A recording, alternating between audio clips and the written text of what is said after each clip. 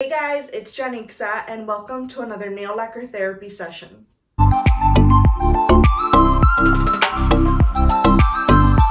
Hey guys, today we are going to talk about the brand new Morgan Taylor Clueless collection for summer 2022.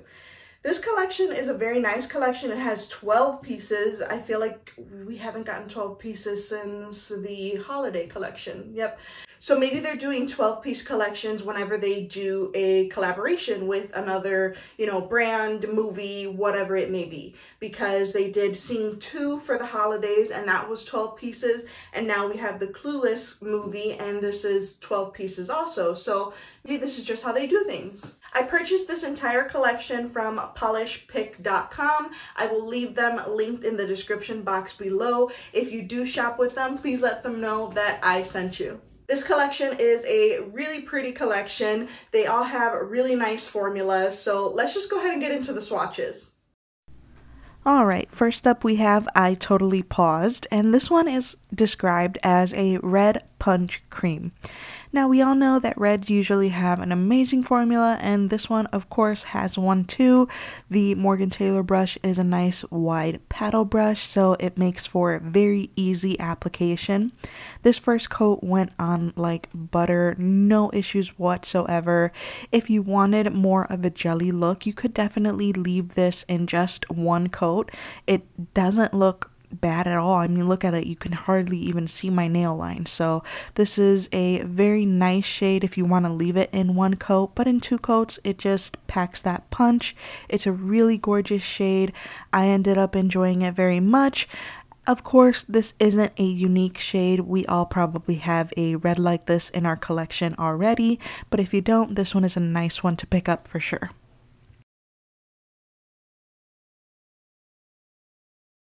Next up we've got Oops, My Bad, and this one is described as a shattered glass glitter overlay. This one, you guys, I really did not like. It was just kind of hard to get the glitter to stay where you wanted it to stay. These are bar glitters, and I don't know, I just really didn't enjoy this one at all. I don't like how it looked on the nail, so for me, this one is a pass.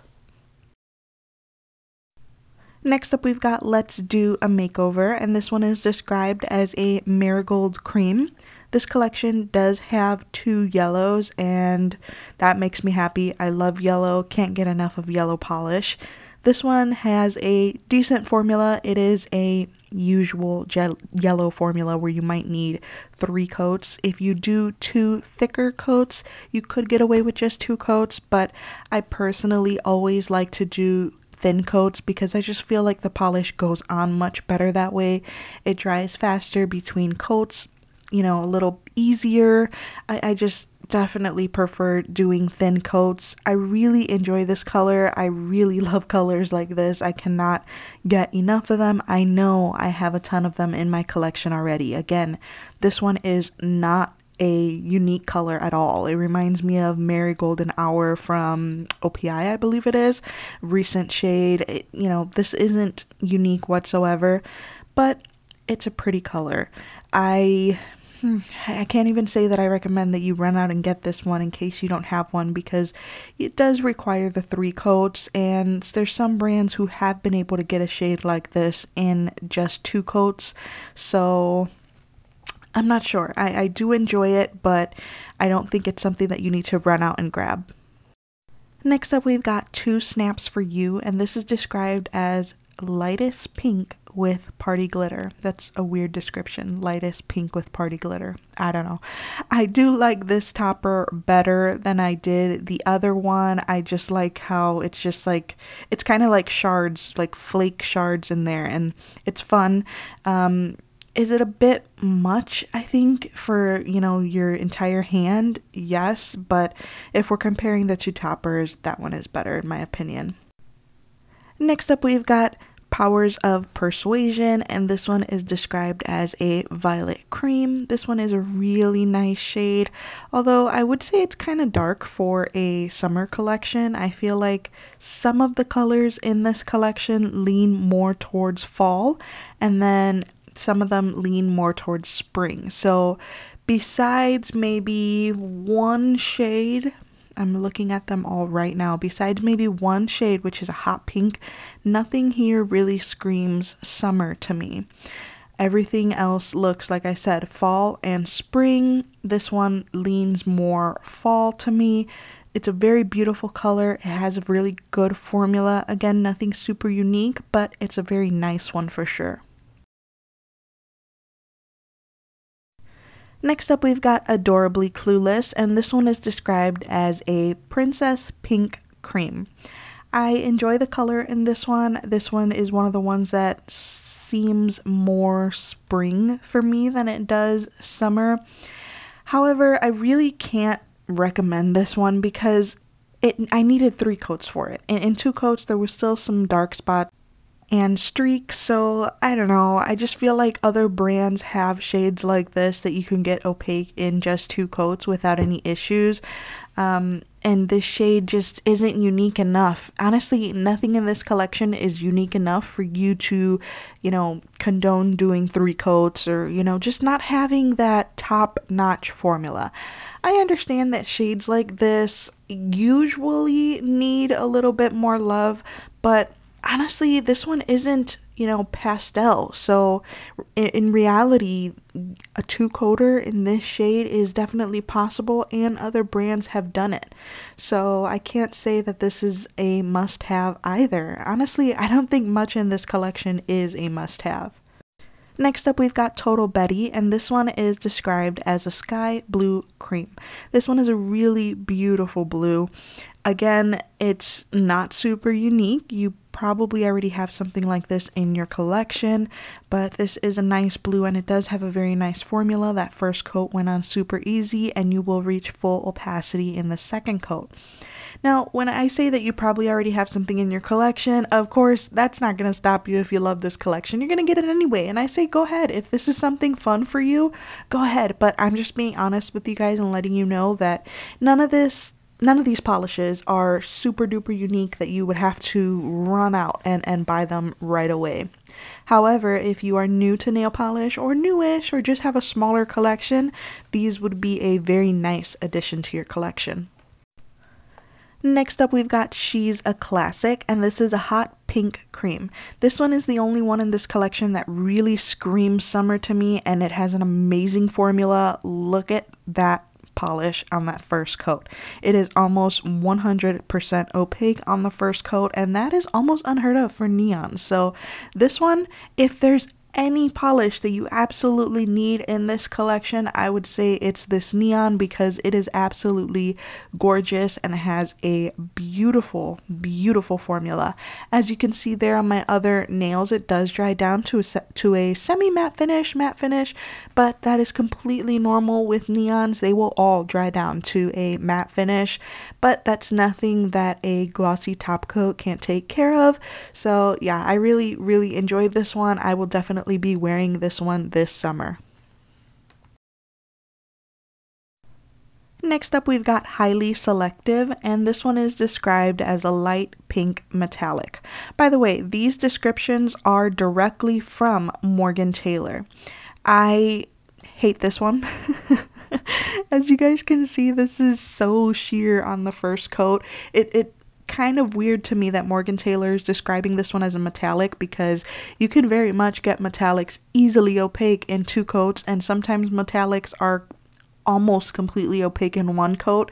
But this one this one I needed three coats to reach full opacity. And even then I wasn't in love with it at all. I don't know. Uh, this one just looked more like a bit of a stain on the nail and then a little bit of shimmer, like you added a little bit of a shimmery uh, polish to stain nails.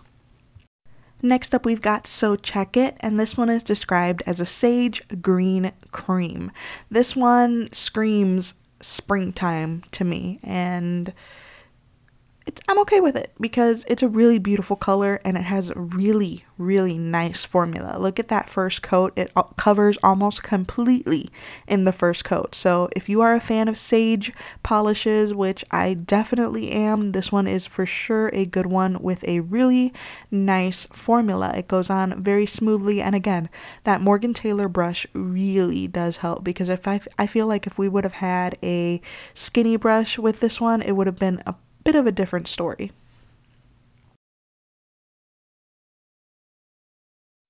Next up we have Ugh As If, and this one is described as a mustard yellow cream. I'm surprised they didn't mention that this one has like a shimmer running throughout. It's not just a regular cream. There's definitely some shimmer in there. The shimmer in this polish will not be difficult to remove though. It's very, very fine. I enjoyed this one a lot and surprisingly, I only needed two coats for this one, but that's usually the case with some mustard yellows. You know, it, that type of shade gets a little bit darker, so it gets a little bit easier to make fully opaque. The shimmer, although apparent in the bottle, will not be super apparent on your nail. So kind of reminds me of Kale Polish's Celine um, in that that shimmer was nice and apparent in the bottle, but when you got it on your nails, you really couldn't see it. Overall, though, I enjoy this one. And last but not least, we have Driving in Platforms, and this one is described as a poppy coral cream. This one is very nice. I don't really have too much to say about it. It's just a regular coral. It's nothing, you know, crazy. Um, it does have a nice formula. I did get it completely opaque in two coats, so that is definitely a plus. As you can see on that first coat, there's not a lot of streaks there or anything. It has really nice, decent coverage. I enjoyed this one. Corals tend to look really good against my skin tone, so I do wear them a lot in the summertime.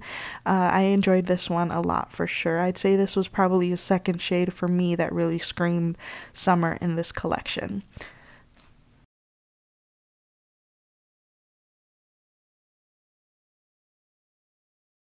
And here we have all the shades together and let me know if you agree with me. Do you think they look good cohesively as a collection or does it just kind of look like the collection is all over the place? Let me know what you think in the comments down below. There you have it, guys. Swatches of the brand new Morgan Taylor Clueless collection for summer 2022. What did you think of this collection? For me, I feel like the colors cohesively as a collection didn't go together. Like, if I would look at all those colors, I wouldn't think that they were from the same collection. It looks like they just kind of picked some polishes from other collections and put them all together for this one. Um, so yeah, I wouldn't I wouldn't say that it's exactly a cohesive collection, but that doesn't always matter to people because not everybody buys full collections like I do. Um, overall, they are nice polishes. They have good formulas. There's like nothing to get overly excited about, but they all performed well. I don't have really any complaints besides the fact that the collection doesn't seem to be, you know, very cohesive. As far as the Clueless references, I have never seen the movie and I'm not interested in seeing the movie, but I do know that the yellow and then the certain names for the polishes definitely, um, you know, clued me into it being from Clueless. I, I don't get all the references because like I said, I haven't seen the movie. yeah, it just was never a movie that interested me. I feel like if I had to choose between Clueless and Legally Blonde, I always chose Legally Blonde. So yeah, I don't know. Clueless was just never on my list of movies to watch but let me know if i'm like really missing something like if i like legally blonde will i like clueless let me know in the comments down below. Alright guys, that's going to be it for this video. Thank you so much for watching. Please subscribe to my channel if you haven't already, and I will see you in my next video. Bye!